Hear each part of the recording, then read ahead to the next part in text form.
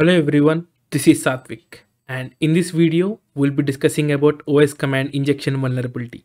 So without getting any delay, let's dive into the video.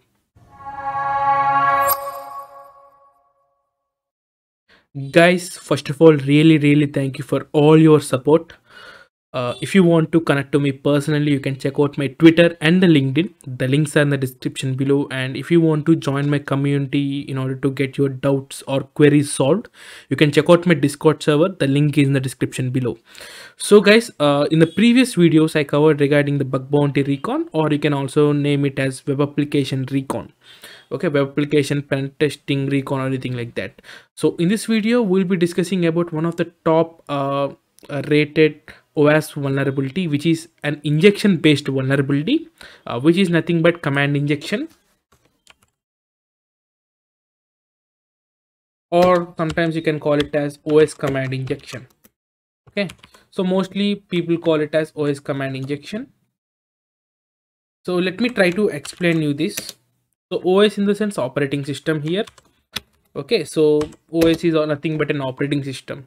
So let me try to be clear here. So let me break this thing into some segments. So first of all let me come to this injection part. So injection is something like uh, not a normal injection that you uh, experience in hospital. So this injection is like you try to mention or try to inject some payloads. So inject in the sense like we are trying to send some payload. Okay uh, inject payloads to uh, what you call this web app. Okay? So you try to inject some payloads to the web app. So what kind of payload which are related to the os commands?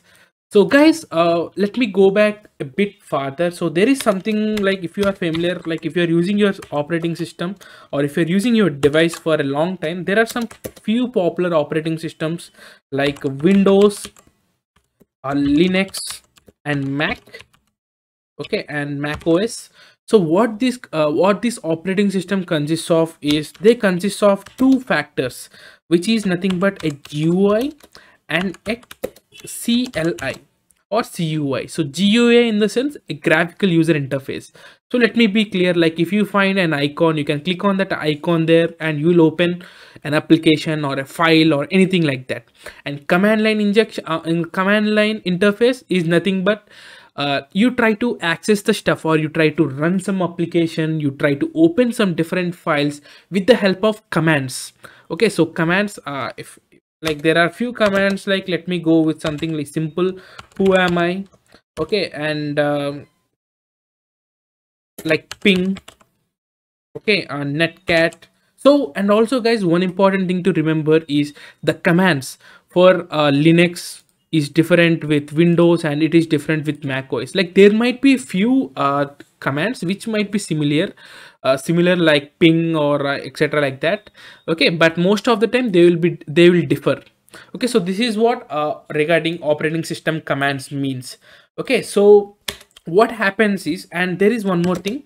So all so the web applications we use okay uh, the web apps we use are hosted on server okay so hosted on the server in the sense so this servers has a public ip address here.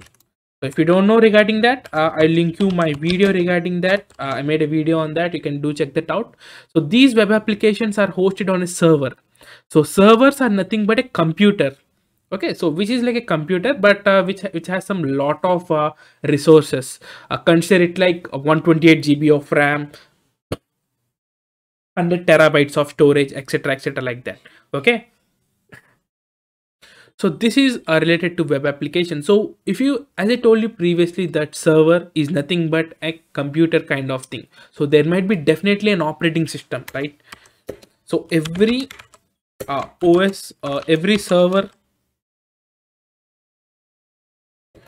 server has an operating system right? So whether it can be windows okay uh, windows based or it can be linux based or it can be anything. Okay so what happens is so what whatever the data that you are sending to the web application is going to be executed on the server side. So what can possibly happen is this server is executing.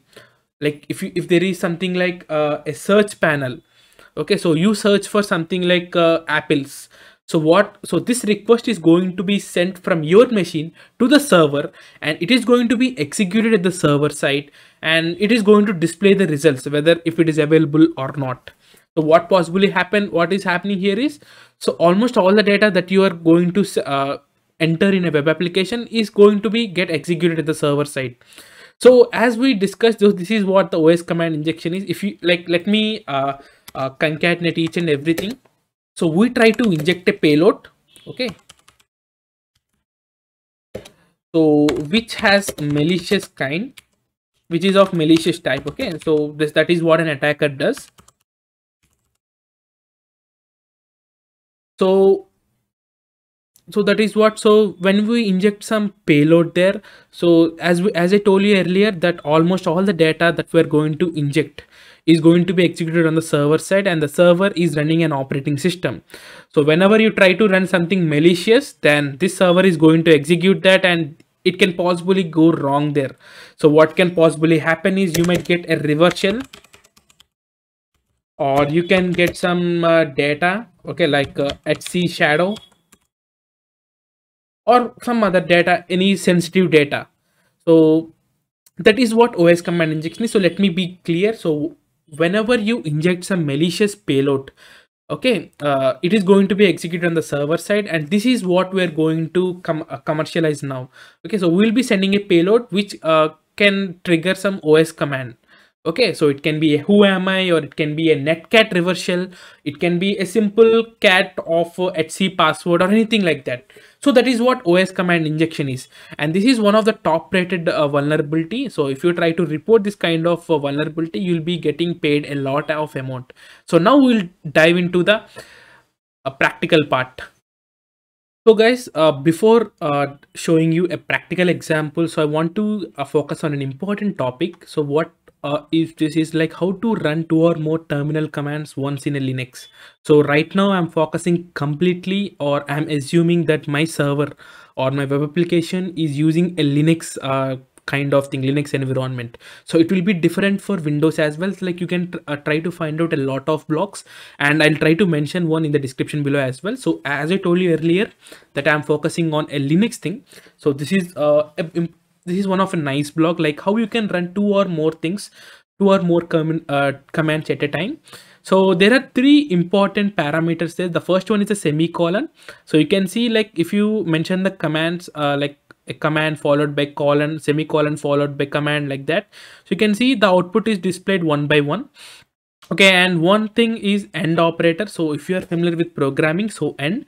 So like uh, it so so let's assume that there are two commands like mkdir my folder and cd my folder. So this part once this particular command executes, then this will execute. Okay, so when like if this particular command has some true value kind of thing. So that is what an end operator means okay and there is something called as a logical or operator. This is famous famously known as piping. So like you can i called like in my previous recon videos i mentioned this particular thing for several times. Okay uh, like the single one is called a pipe and the double uh, vertical lines are called as uh, or. Okay so anything is fine. Okay so i'll note that down. So the one is a semicolon an end okay and or and a pipe. Okay so th these four are some parameters that you need to remember in this case. So now you can see that i'm showing i'm trying to show this on a metasploitable. Okay so let me close this everything down and let me go to this thing. So this is my web application that i'm going to target. And i'm going to set the dvwa security for low as of now.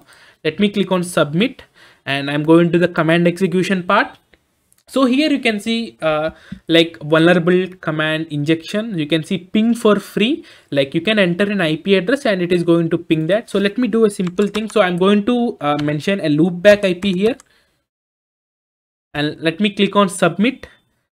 And uh, let's see what happens. You can see it did a ping uh, like for three packets i think so. Like three packets were transmitted and three packets were received as this is a loopback ip and one the the best way or the best the reason why i mentioned this dvwa is you get an access to the view source code as well. So here you can see view source. So if i click on that let me enlarge this a little bit. You can see uh, this is a php based code. So you don't need to like i'll try to e mention that easily. So you can see there is a variable target and it is requesting a parameter ip okay so so you can see if uh, the parameter that it is sending is IP. Okay, so what it is doing is it is simply executing that particular target. Like it is not even filtering the variable here.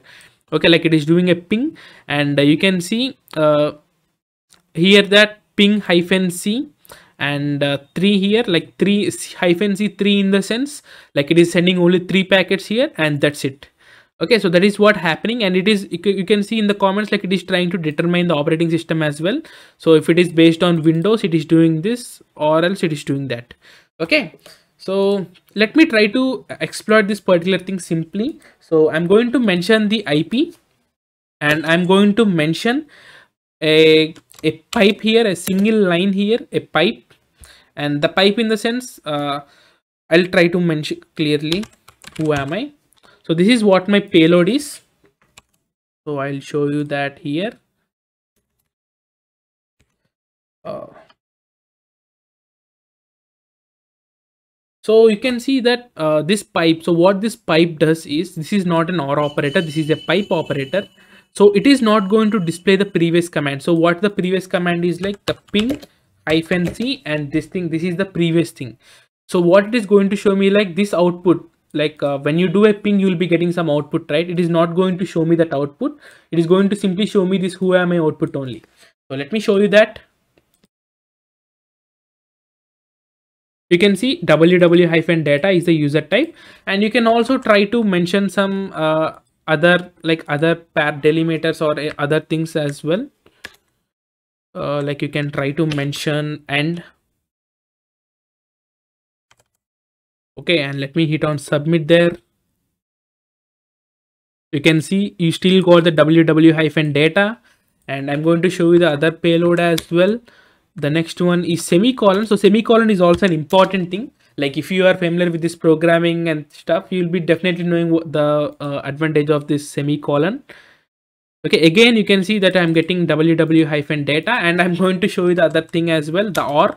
There is no much difference between and and or here but uh, there is something like on the basis of true and false it is determined. Okay so since there is an or operator like only the first one is getting executed there. Okay so that is the difference there. So this is what for the easy type. And uh, in the next part i'll be showing you for the medium and the high settings so that is it guys for today's video. I hope you find this video really helpful. And in the next part i'll cover the medium and the high. And also i'll try to mention the mitigation process as well. So this is Satvik signing off. Uh, thank you for watching this video until the end. I'll meet you in the next video. Thank you